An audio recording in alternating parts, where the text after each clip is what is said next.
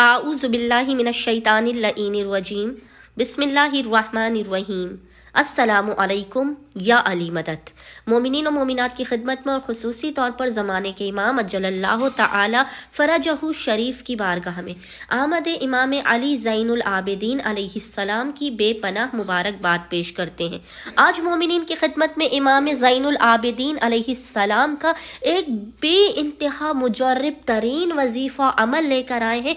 ये इस कदर मुजरब तरीन वजीफ़ा अमल है कि हमने हज़ारों परेशान हाल मोमिन और मोमिनत को इस अमल के बारे में बताया। हमें आज तक कोई एक भी ऐसा नहीं मिला कि जिसे फ़ौरन के फ़ौरन उसकी हाजत अता ना कर दी गई हो। अमल मुकम्मल होने से पहले पहले खुदा वंद मताल आपको आपकी हाजत लाजमन लाजमन अता कर देता है। मोमिन पंद्रह जमातुल अव्वल के दिन अहमद इमाम अली जैनुल आबिदीन के दिन लाजमन इस अमल ख़ास को करें। अगर आपकी हाजत कबूल ना हो तो बेशक आप लानत भेजिए।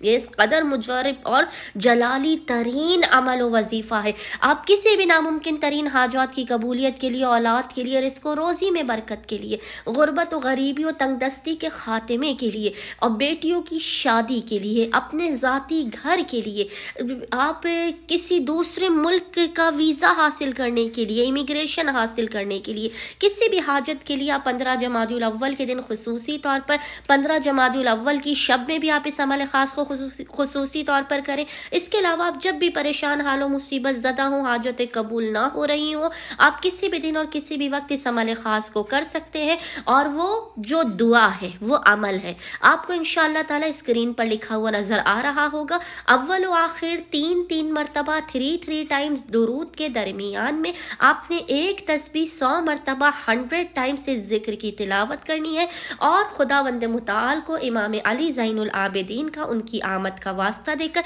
अपनी हाजतों को तलब करना इन ताला आप अपने मकाम से हिलने नहीं पाएँगे। ये तस्वीर और ज़िक्र मुकम्मल नहीं होने पाएगा कि खुदा वंत मताल मोमिन को बेहिसाब अता कर देगा, उनकी मुरादें उन्हें दे देगा। उम्मीद करते हैं अक्सरियत मोमिन इस मुजारब तरीन वजीफ़े अमल को लाजमन करेंगे और हमें और हमारे खाने वादे को अपनी खसूसी दुआओं में याद रखेंगे। अल्लाह सल मोहम्मद व आल मोहम्मद वाजिल फ़राज अजमाइन।